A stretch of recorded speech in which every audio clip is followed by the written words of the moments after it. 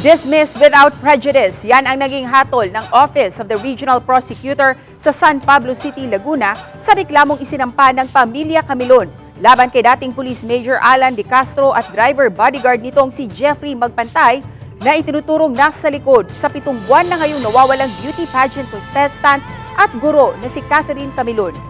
April 23 nang i-dismiss ng regional prosecutor ang kasong kidnapping and serious illegal detention laban sa mga akusado. Noong May 15 lang natanggap ng pamilya Camilon ang kopya ng desisyon.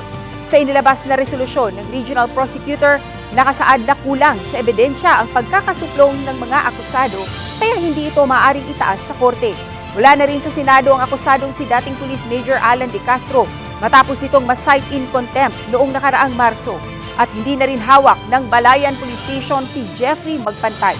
Sinusubukan pa ng GMA Regional TV Balitang Southern Tagalog na makuhanan ng pahayag ang abogado ni De Castro, ngunit hindi pa ito sumasagot sa aming mga text o tawag.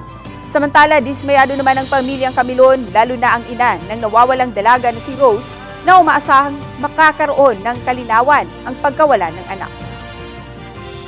Mahirap, ma'am. Siyempre, Mm. wala naman kaming ibang inaasahan kundi yung magkaroon ng magandang resulta ito eh. Tapos ganito, hanggat Mm. hindi nagkakaroon ng, ng resulta ito ay ng sagot eh, huwag naman kaming bibitawan. Yan naman ang sabi nila sa amin. Maghihintay pa, wala namang nangyayari. Yun, Mm. na-dismiss na ang.